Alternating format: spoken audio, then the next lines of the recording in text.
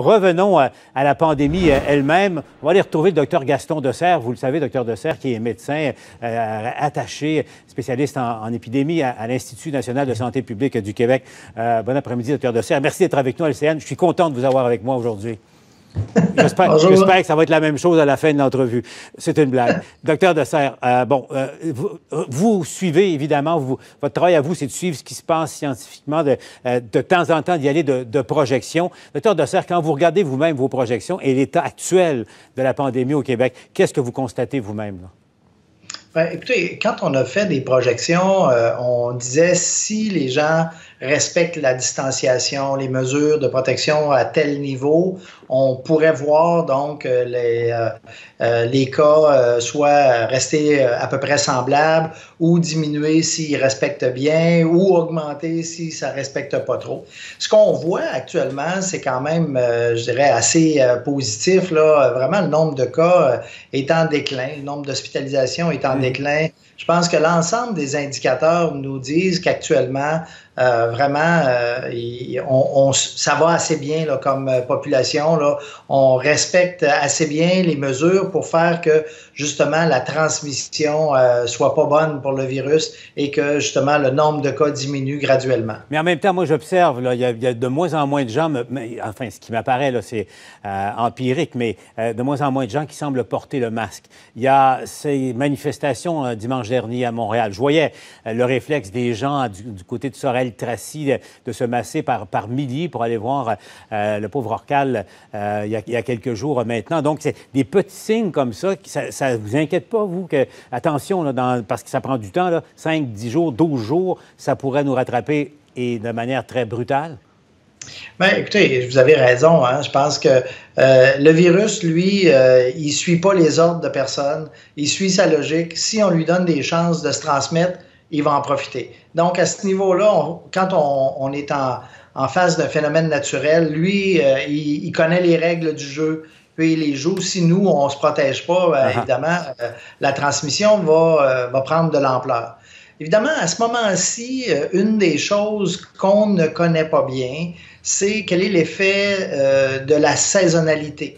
Donc, est-ce que ce virus-là va se comporter comme la majorité de nos virus respiratoires et donc, euh, durant l'été, euh, avoir beaucoup moins de transmission que dans des saisons froides?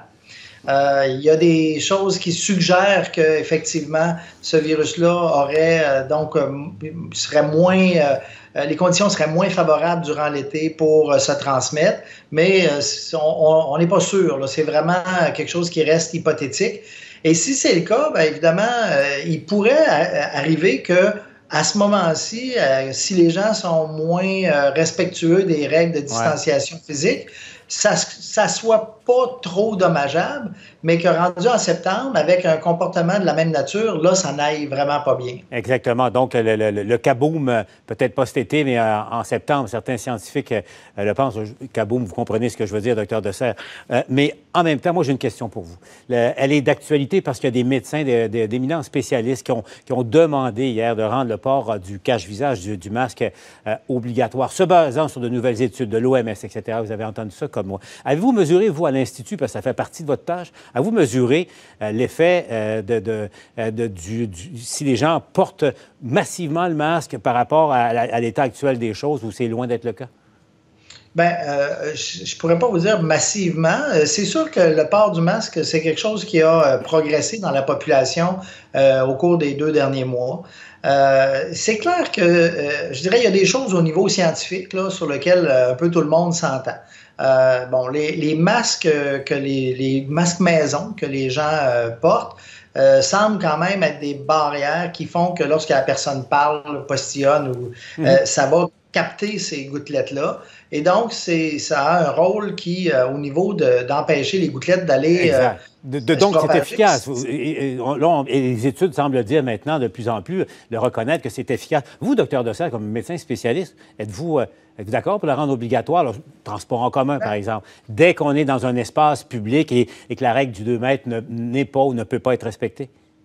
Bien, écoutez, je pense que d'abord, les décisions, c'est au niveau du gouvernement. Nous, on leur donne les informations scientifiques sur le fait que, euh, par exemple, le masque, effectivement, permet de, diminuer euh, l'émission de gouttelettes, euh, etc.